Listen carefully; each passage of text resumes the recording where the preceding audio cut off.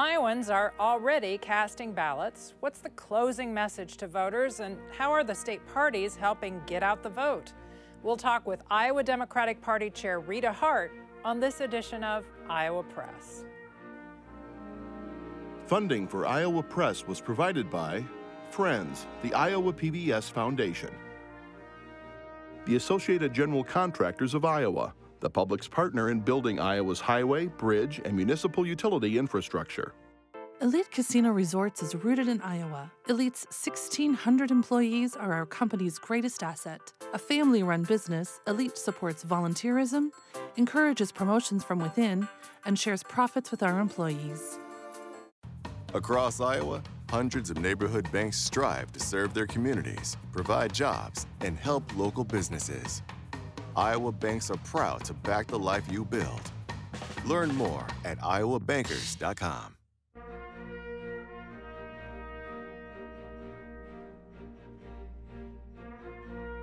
For decades, Iowa Press has brought you political leaders and newsmakers from across Iowa and beyond, celebrating more than 50 years on statewide Iowa PBS.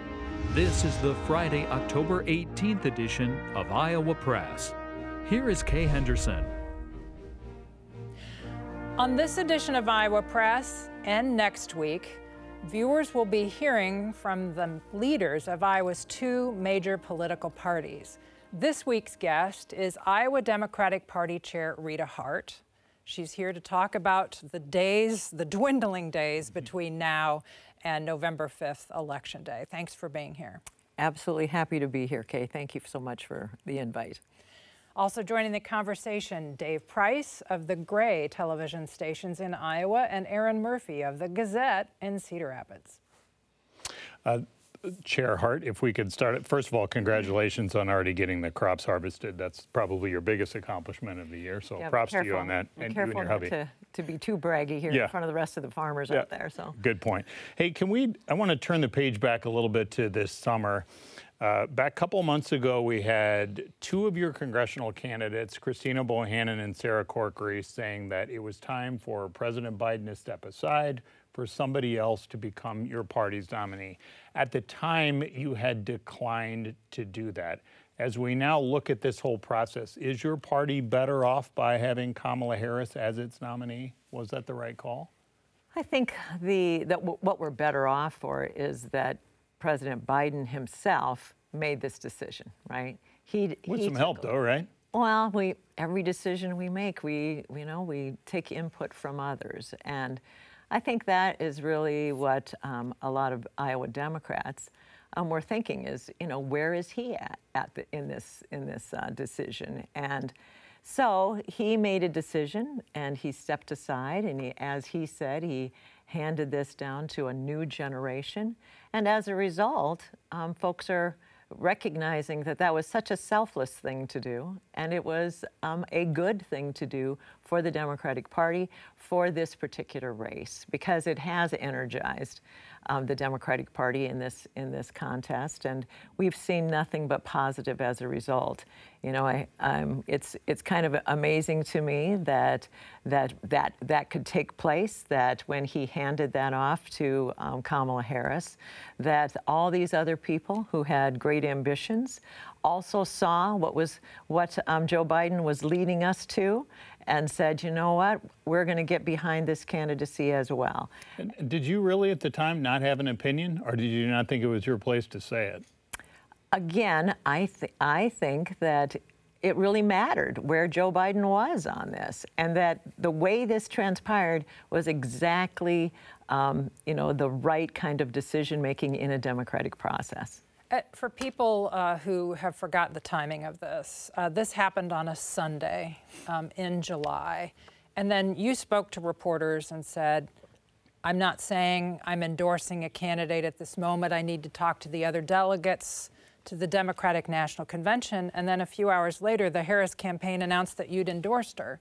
So, how fast did this move, and what led you to make that decision so quickly? So, again, you know, I'm the chair of the Democratic Party. I, when I make a decision or, or make a, um, a, a decision like that, I need to take in what the what the will of the majority is in our Democratic Party, right? And so those delegates that were going to convention um, needed to have an, a moment to decide what they wanted to do. And so we had those conversations, and it was quick. My goodness, it was quick, right? But I was surprised at how quickly our delegates came together and said, "We are going to be behind Kamala Harris," and that's and that's now where we are. So you mentioned the engagement, the enthusiasm. Um, we've been hearing that anecdotally from Democrats and Democratic candidates. I'm looking at some voter registration numbers now from from Iowa, and the Democratic Party has picked up about 16,000 new, uh, well, more registrations since July, an increase of about 3.4 percent. Where are these folks coming from? How much are they going to help uh, your party's candidates in this election? So I, I, I, can't answer that question. We'd have to analyze that a bit. But um, the enthusiasm that you mentioned is very real. You know, as I travel across the state, Democrats are very fired up. And I would say, even more importantly, they are determined, right? They want to see um, Kamala Harris and Tim Walz get elected. And they are excited about the fact that these, that these two people represent um, a future that is positive, that's going to um, stand up for the things that, that Iowa Democrats stand for as well, that they are going to be making sure that women have reproductive decisions, that they, that they have control over their own bodies. They're, they're, they're excited about the fact that we have leadership that um, recognizes that public, public school education is really important. I think here in Iowa, we're especially thrilled about uh, Tim Walz's um, step up to the vice presidency because he is that that teacher, that coach, that background that says public education is important, and that when you send kids to public school and they're hungry, we ought to feed them. Common sense kinds of, of decision making that we're hungry for here in Iowa. Um, harkening back to the Romney ticket, there was a Wisconsinite on that ticket, and people thought, well, that'll be big in Iowa. It'll really help him in Iowa. It didn't turn out to be. Is Walz really helping in Iowa? He hasn't campaigned here. Yeah, I think that again, it's representative of the decision making that Kamala Harris is is um, is making. Right, that she chose a um, a common sense. Um, person who is going to lead us um, down this path that's going to be good for the average American, the average Iowan. Um, that's what I think is going to make a difference, um, and and the, why there's so much excitement around this this uh, ticket. Well, and on that, I should also note the Republicans have also added to their voter registration numbers in the same time. Not as much. Uh, they've increased about 2% over the same period. But are they canceling out any surge that you're seeing? Do you need to, to boost those numbers even more to be able to help your candidates uh, across the state? Yeah, I think, you know, again, uh, th that's why it's uh, really crucial that we are going out and talking to folks and telling them how important their vote is. Not everybody changes their voter registration when they have changed their mind on who they're going to vote for, right? And so when this election is over, we'll be able to go back and, and really take a good hard look at, at where the movement is and, and who we're talking about. But I think, again, to have um, a younger person at the at the top of the ticket is inciting is is uh, exciting to our younger voters um, and to those people who are looking for um, a, a, direction. Um, on the issues that uh, Democrats really care about, on child care accessibility, on health care, on mental health. Um, these are the issues that I think are going to really be the drivers. And again, this election is all about turnout. And so, again, that's why I'm traveling the state. That's why um, we, we're excited that we have so many great candidates who have stepped up because of the situation that has existed here in Iowa, where they've seen that Republicans being in control has, has ended up in extreme legislation that people do not support and is not popular.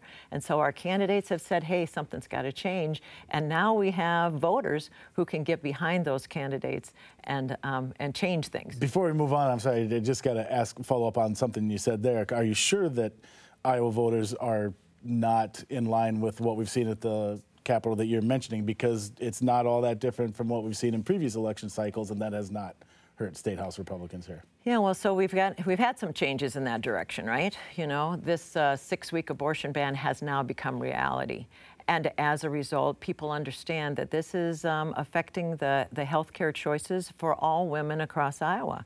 That I think people are much more aware that today um, Iowa is dead last in OBGYNs per capita, and that um, that is going to really end up with, with negative health outcomes for women of any age, right?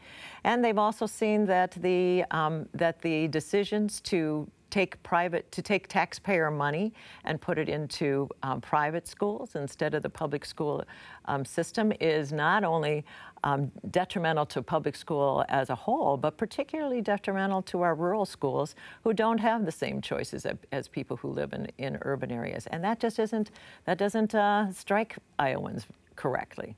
I want to bounce back to maybe to piggyback off what Kay was talking about. If we look at the Des Moines Register's Iowa poll from last month, the gap between Trump and Harris was only 4% compared to 18% when it was Trump Biden back in June as Kay pointed out, we don't have the candidates coming here. They're kind of coming on the on the outside of the state a little bit, but four percent traditionally we'd kind of call that swing state. It's almost within the margin of error. Be, be, uh, by the way, Ann Selzer does these polls.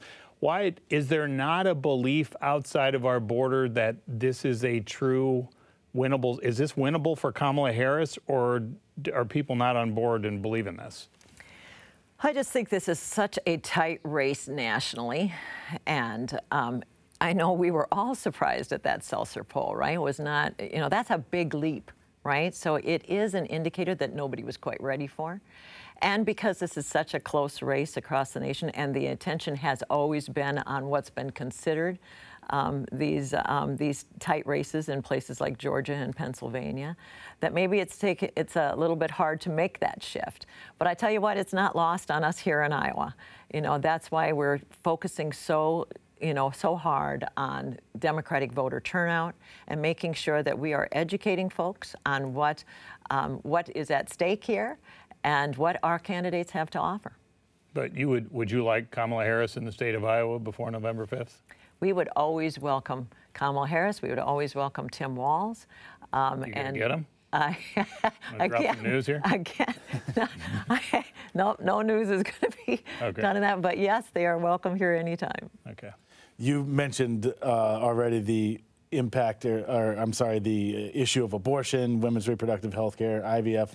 It, it maybe especially at the congressional level. Is that a issue or bust for Democratic candidates? Is that the issue that's going to carry them across the finish line in, in these races, or is there a more well-rounded message that these candidates have? Yeah, I think it's really clear that this is a very salient issue in this time, especially because we have some Republican congressional representatives who have not been listening to Iowa residents, right, on this issue, and and they've not really been honest about it, right? They have they have voted for abortion bans and then come back to Iowa and say, oh, well, you know, I really believe in exceptions. Well, they have not um, they have not walked the walk and talked the talk. They are they're saying one thing and voting a different way, and that I think is a bigger issue than anything. Right? Is the honesty that comes out of can we trust what you say when you, then you vote differently than than your rhetoric um, resounds. So, but overall, I would say that. Um, that freedom is always a big issue. And the fact that people today have fewer rights than they did it is really resounding well with people. But there are other issues too. So speaking you know. of, yeah, speaking of uh, your your family's financial position is always something that's a motivator for a lot of people. Absolutely. If you start looking at the polls, those would show that Trump has the advantage with this. Can you articulate the economic message that will get somebody off the couch who's kind of on the fence about do I want to vote, do I not want to vote? And maybe to crystallize it, if somebody stops you and says, how, how do you answer the question, are you better off today than you were four years ago? How do you respond to people? Well, for one thing, I think that um, some in some cases, there's been a lot of revisionist history here that four years ago, maybe um, if we actually went back there, we'd find out that things were a little bit different than some folks remember that, you know. Um, those, that was a tough time four years ago as we were dealing with a pandemic and the economic ramifications thereof. And, and what the message that I think Democrats have is that we have always been the party for the middle class. And that it's really important to Democrats that, that people have good jobs, good paying jobs, that they can count on the security of those jobs, and that we are making sure that, that our system works for everybody um, up and down the scale. And that's why it was such a um, important thing for Joe Biden to talk about how he was building the economy from the bottom up and the middle out, because we're not building an economy for those people who have the financial advantages already. And that's what we can look forward to if we go back to a Trump presidency that you know his big accomplishment was a tax cut for the wealthy and did not do much for the middle class. And that's where Democratic candidates are focused on is what can we do to lower the costs for average Americans. And that's why people have responded well to the fact that that that we've lowered prescription drug costs that we are that we're working for fair wages, that we are uh, that we are trying to make um, um, corporate America count, accountable for the, the inflation that exists today. But when you look at some of these stats, wages are outpacing inflation the last 18 months, and right now they're almost going up twice as fast. Your paycheck's going up almost twice as fast as the cost of everything. Gas prices are down. Stock markets have been records all year long. We've set a gazillion records uh, with the Dow. There still seems to be a disconnect, though, when you start going out talking to people about this, though? Are, are, you, are you not concerned that that message, your message, is not clicking well enough with people? Well, that is again why we're going out and talking to folks. But when you, you know, when you drill down into that, it's not hard to understand that when people go to the grocery store and it costs more, that that is is really troubling. That that that makes a big difference to folks, and when they pay their rent bills, that makes a big big. And that is clear that housing costs are a crucial part of what's really hitting people's pocketbooks. And so again, you know, those those problems, especially the housing issue, um, have been coming ever since the since the the big crash, right? And that those kinds of initiatives that are attacking and making sure that we are doing something about lowering those housing costs are, are really important to talk to people. So that's what we're doing. So let's go back four years you were a candidate for Congress. Yes, I remember that. you were running against uh, Mariannette Miller Meeks, who's a current member of Congress seeking reelection. You wound up losing by six votes. Correct. What did you see in the close down of your race that you've advised Christina Bohannan to avoid? Well, what I would say about that is, first of all, that was a really unique time um, you know, that, that um, six vote deficit was happening at the same time when President Trump was, was, was saying that his election was stolen, even though there were millions of votes in, in uh, difference. And we all know how that transpired afterwards. I made a decision to, to um, for, the, for the good of the campaign, for the good of the party, for the good of Iowa, to um, recognize that that um, it was time to say that yes, this election cycle is over. And, that's, but that's December. I'm talking about the close of October and the first few days of November. What did you see that indicated you needed to do something else to win? That I needed to. Or did you? Or did you see something else at that point in the race? Like, what was your gut telling you in those final days before the election? Before the election what, what my gut was telling me is that um, that that we were in a good position to win this race, right? And and I guess what you're asking is, um, is Christina in that same position, right? Um, and um, I guess what I would say is that is that this is the message we are taking to the people right now. Every vote matters. Your vote really counts. And we have got to stick this right to the end because it is going to be a really close race. We're going to have a close race in the first district. We're going to have a close race in the third district. And every vote is going to matter. Um, I particularly, um, you know, today was talking to young people uh, to um, at the on the Drake campus because young voters are really crucial. I think in, in this race, that 18 to 34 year old group is one of the largest voting blocks we have, and they have the poorest record for getting to the polls. And and the, the one thing that that is more important to tell the people rather the voters rather than to tell Christina is that you've got to show up for her. She has run a tremendous race. Um, she is really working hard. So is Lanon Baccam. It's up to the voters to get to the to the uh, voting poll and make a difference. Because the worst thing that can happen, which happened to me, is to have people come to you the day after the election and say, "Oh, Rita, I totally forgot to vote. I'm really sorry. I thought you had this in the bag. I thought you would win, and so I'm really sorry." That is really horrible to hear. and so that's why I want every voter to understand that their vote really counts. And they lost a chance, right? They didn't get their voice to be heard because they didn't make it to the polls. To those two elections you talked about, for those of us who are on the other side of this and kind of observe and report, I think uh, a, a lot of us expected the third district to be the most competitive in Iowa, and it seems like that has sort of shifted to the first district. And, and I'm not suggesting that the third district is no longer competitive, but it just seems like there's a lot more attention being placed on on Miller Meeks and, Bohannan. What, what what do you think has happened there? Why is that suddenly the battleground race in Iowa? You know, I don't know if I, I, I would tell you that what we know is that both races are really tight. And, and again, if we can win one or both of those congressional seats, that's going to be a big game changer for us. And that's why it's so important that we, that we really get people to the polls.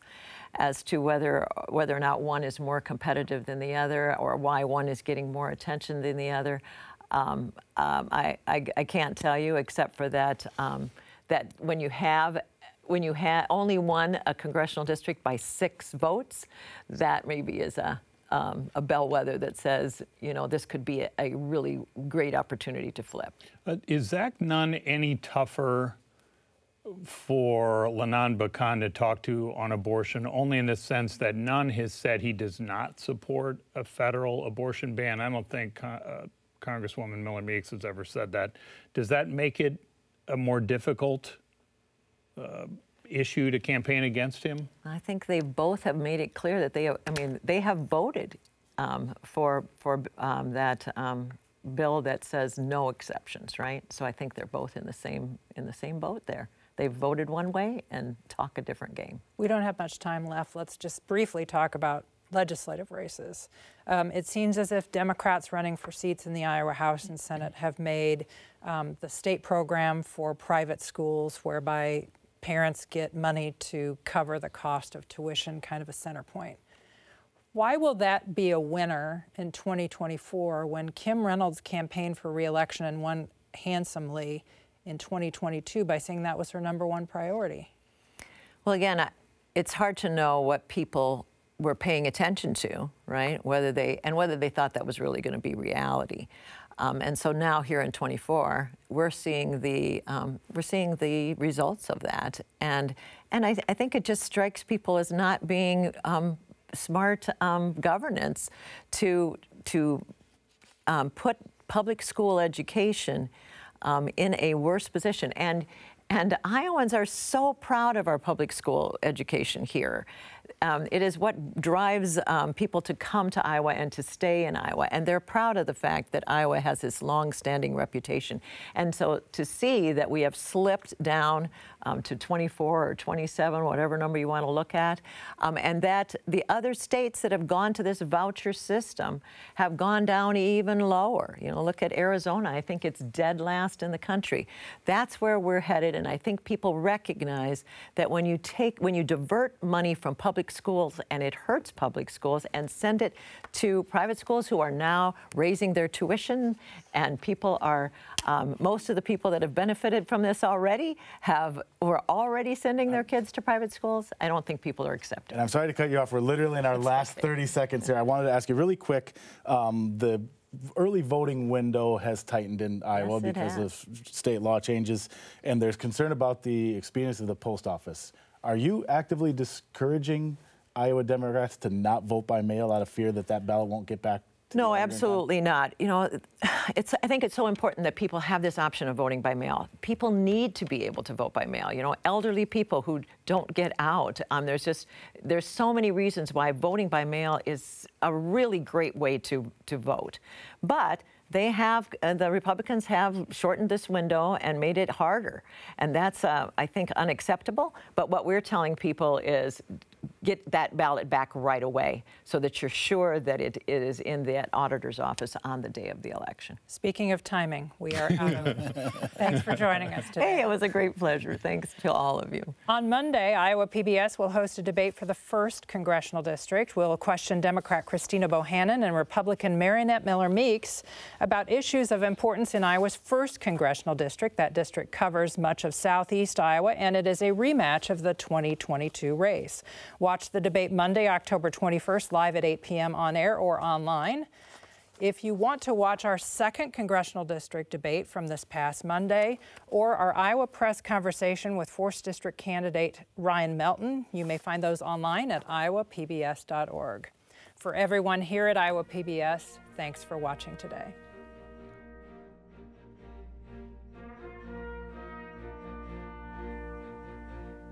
Funding for Iowa Press was provided by Friends, the Iowa PBS Foundation, the Associated General Contractors of Iowa, the public's partner in building Iowa's highway, bridge, and municipal utility infrastructure. Elite Casino Resorts is a family run business rooted in Iowa. We believe our employees are part of our family, and we strive to improve their quality of life and the quality of lives within the communities we serve.